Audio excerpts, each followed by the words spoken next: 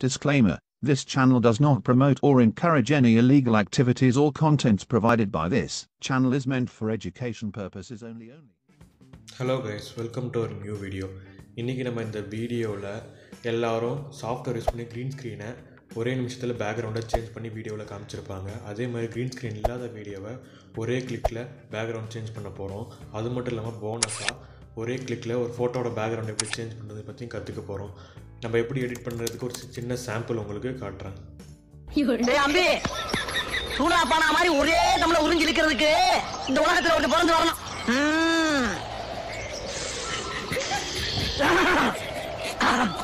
ஏடா லேசா தொண்டை சாம்பிள் வீடியோ பார்த்து என்ஜாய் பண்ணியிருப்பீங்கன்னு நினைக்கிறேன். நம்ம டுட்டோரியல் பார்க்கறதுக்கு முன்னாடி நம்ம சேனலை சப்ஸ்கிரைப் பண்ணல அப்படின்னா இப்போவே கீழே ரெட்டில் சப்ஸ்கிரைப் கிளிக் பண்ணி சப்ஸ்கிரைப் பண்ணிவிட்டு பக்கத்தில் இருக்க பெல் பட்டனை கிளிக் பண்ணி ஆல் அப்படின்னு செட் பண்ணிவிடுங்க நம்மளோட சேனலோட அப்டேட்ஸ் உங்களுக்கு நோட்டிஃபிகேஷனாக வரும்.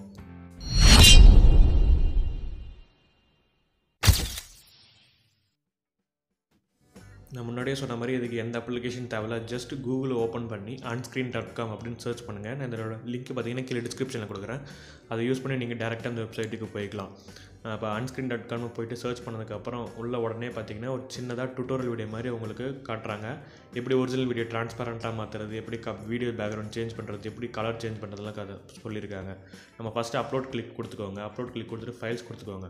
ஃபைல்ஸ் போனதுக்கப்புறம் இந்த மேலே இருக்க மூணு டாட்டை கிளிக் பண்ணீங்க அப்படின்னா கேலரி ஆப்ஷன் வரும்.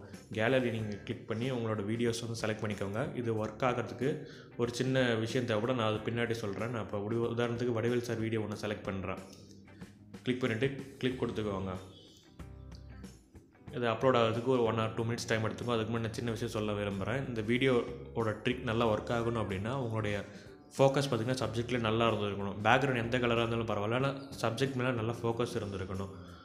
அது மட்டும் இல்லாமல் இதில் நீங்கள் பெரிய பெரிய வீடியோஸை நீங்கள் கிளிக் பண்ணி நீங்கள் பேக்ரவுண்ட் சேஞ்ச் பண்ண முடியாது. ஒரு உதாரணத்துக்கு ஒரு பத்து இருபது செகண்ட் இருக்க வீடியோஸ்னால் பிரச்சனை இல்லை. நல்லாவே ஒர்க் ஆகும். ஒரு பெரிய வீடியோஸ்னால் இதில் ஃபஸ்ட்டு ஒரு பத்து இருபது செகண்ட் மட்டும்தான் ஒர்க் ஆகும். ஓகேங்களா? சரி இப்போ நீங்கள் டவுன்லோட் பண்ணுறதுக்கு கீழே இருக்க டவுன்லோட் ஆப்ஷன் அவங்களே கொடுத்துட்டாங்க. நீங்கள் கிளிக் பண்ணி ஈஸியாக டவுன்லோட் பண்ணிக்கலாம். திரும்ப பார்த்தீங்க அப்படின்னா மேலே பார்த்தீங்கன்னா ஒரிஜினல் டிரான்ஸ்பரண்ட் வீடியோ கலர் இமேஜ்னு இருக்குது நீங்கள் அந்த பேக்ரவுண்டில் நீங்கள் ஒரிஜினல் இப்படி இருந்துச்சு டிரான்ஸ்பரண்ட்டாக இருந்தால் எப்படி இருக்கும் பின்னாடி ஒரு வீடியோ வச்சா எப்படி இருக்கும் அப்படிங்கிறதுக்கான எல்லா ஆப்ஷனும் உங்களுக்கு கு- இங்கேயே கொடுக்குறாங்க. நீங்கள் டிரான்ஸ்பரண்ட் கொடுத்து டவுன்லோட் பண்ணிக்கோங்க. அப்படி இல்லை அப்படின்னா நீங்கள் கலர் இருக்குன்னா கலரை சூஸ் பண்ணிவிட்டு க்ரீன் கொடுத்துட்டீங்க அப்படின்னா நீங்கள் வேறு ஏதாவது வீடியோ எடிட்டிங் சாஃப்ட்வேரில் போட்டு நீங்கள் எப்போ வேணால் பேக்ரவுண்டை சேஞ்ச் பண்ணிக்கலாம். இது ரொம்ப யூஸ்ஃபுல்லாகவே இருக்கும். நீங்கள் அதனால் நான் உங்களுக்கு ரெக்கமெண்ட் பண்ணுறது க்ரீனு வச்சுட்டு நீங்கள் ஃபைலை டவுன்லோட் பண்ணிக்கோங்க.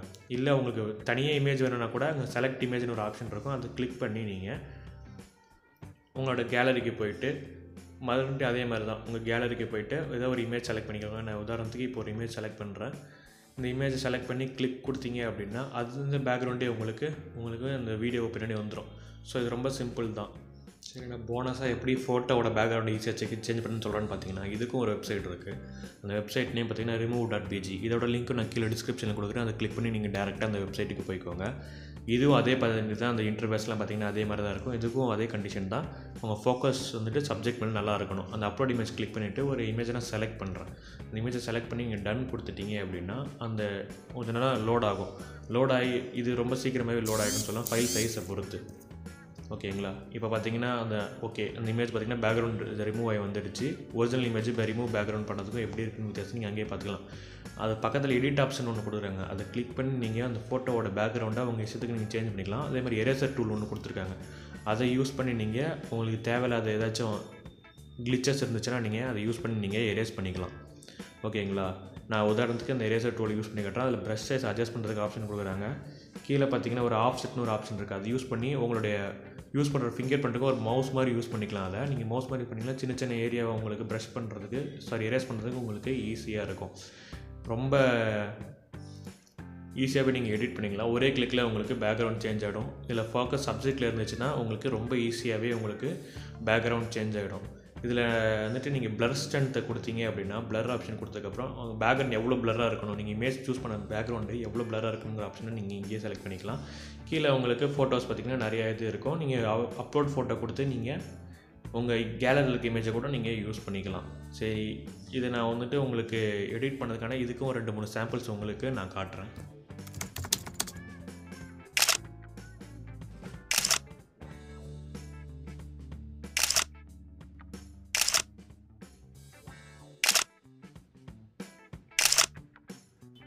இந்த வீடியோ பார்த்ததுக்கு ரொம்ப நன்றி. இந்த வீடியோ பற்றி ஏதாவது டவுட்ஸ் இருந்ததுன்னா கீழே இருக்க கமெண்ட் பாக்ஸில் கமெண்ட் பண்ணுங்கள் நான் உங்களுக்கு உடனே ரிப்ளை பண்ண ட்ரை பண்ணுறேன் தேங்க்ஸ் ஃபார் வாட்சிங்